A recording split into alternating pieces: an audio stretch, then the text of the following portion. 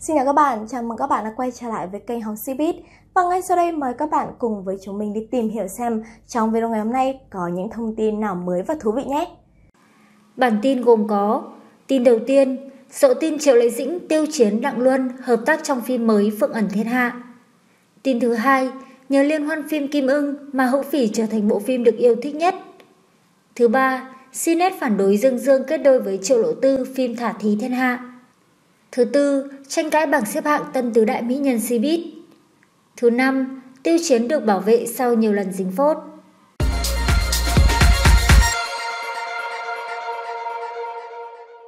Vào sáng ngày 2 tháng 10, các blogger xứ Trung đồng loạt đưa tin về dự án phim mới mang tên Phượng ẩn thiên hạ với ba cái tên đáng chú ý sẽ tham gia diễn xuất là Triệu Lệ Dĩnh, Tiêu Chiến và Đặng Luân.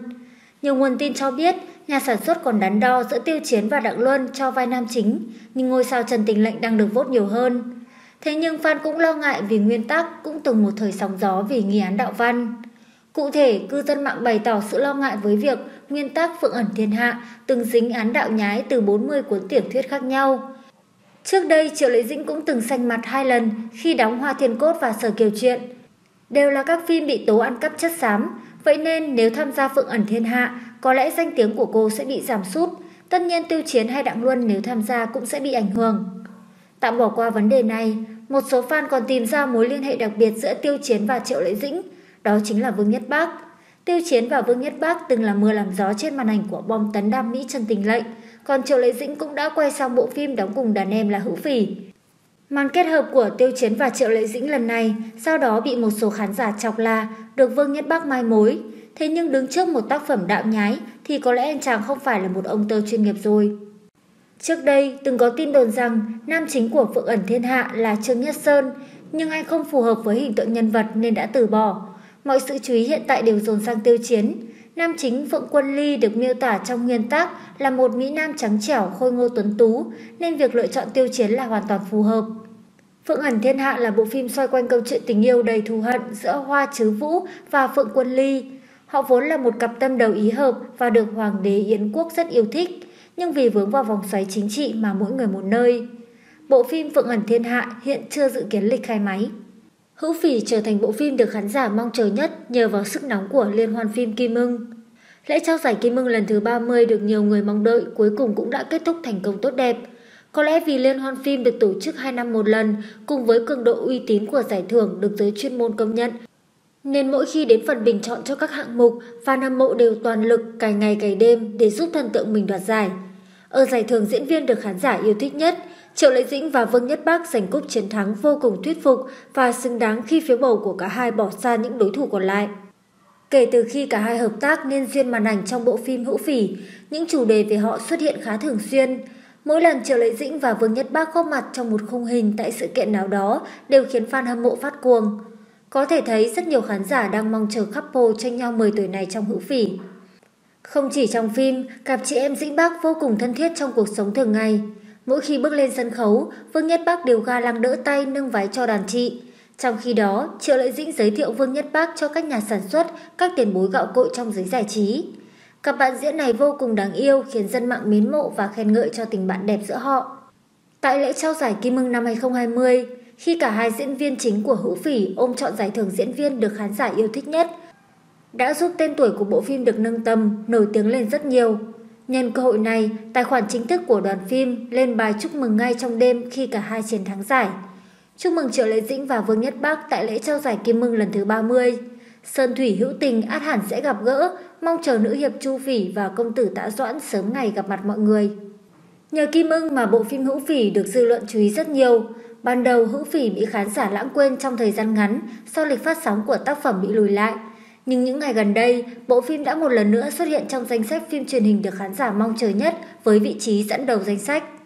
Trên thực tế, Hữu Phỉ giành vị trí quán quân bảng xếp hạng của những bộ phim được mong chờ nhất là điều hiển nhiên khi dàn diễn viên chính của bộ phim đều là những ngôi sao đang nổi đình nổi đám.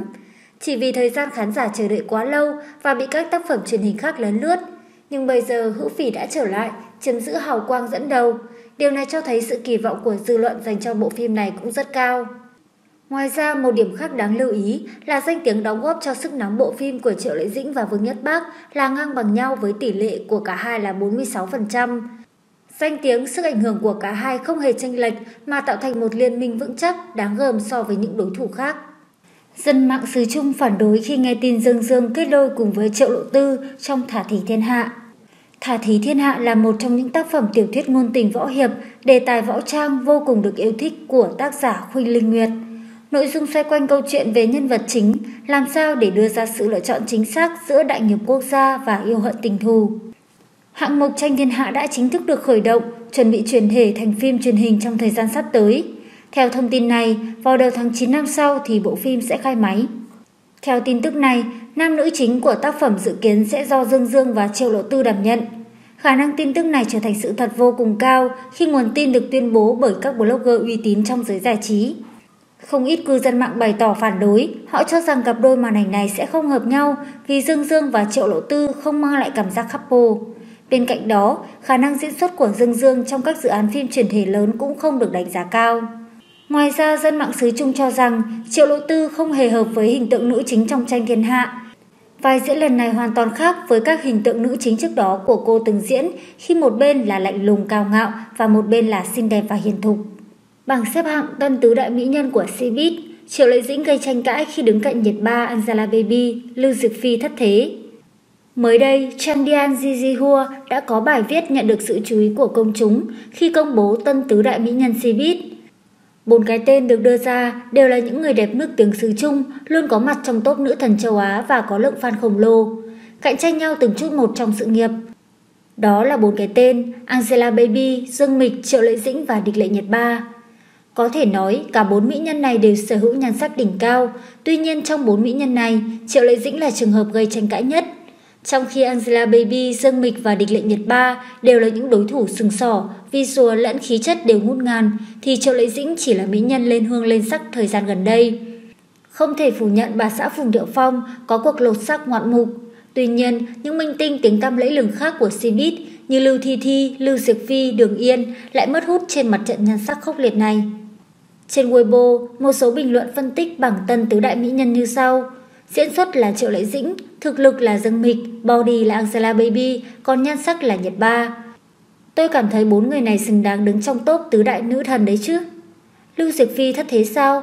Quá nhiều mỹ nhân xinh đẹp nhưng chỉ chọn được tứ đại thôi, vậy nên mới tranh cãi. Tiêu chiến cuối cùng đã được bảo vệ sau nhiều lần bị bóc phốt và nói xấu. Vừa qua, hashtag phản đối chính thức về sự việc của fan tiêu chiến đã có mặt trên hot search và hát tắc này đã leo lên vị trí thứ tư. Đây có lẽ là chuyện khá hiếm hoi đối với tiêu chiến sau sự cố 227. Trước đó tiêu chiến cũng đã từng lọt vào hot search nhưng không bao giờ xuất hiện trong vị trí cao nhất như vậy.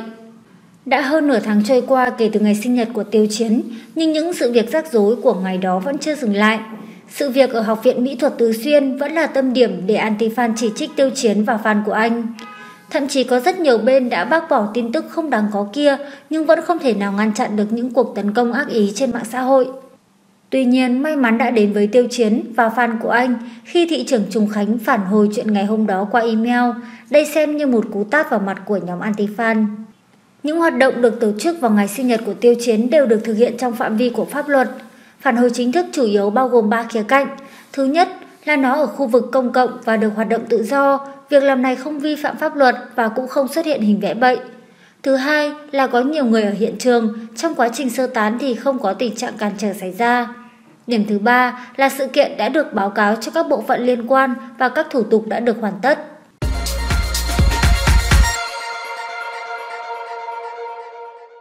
Chúng mình là Cbiz. Nếu như các bạn cảm thấy những thông tin trên là hữu ích, vậy thì đừng quên like, subscribe kênh của chúng mình nhé. Và các bạn cũng đừng quên nhấn vào biểu tượng cái chuông nhỏ bên dưới góc màn hình để được nhận thông báo mỗi khi chúng mình giao đồ mới nhất. Còn bây giờ, xin chào và hẹn gặp lại!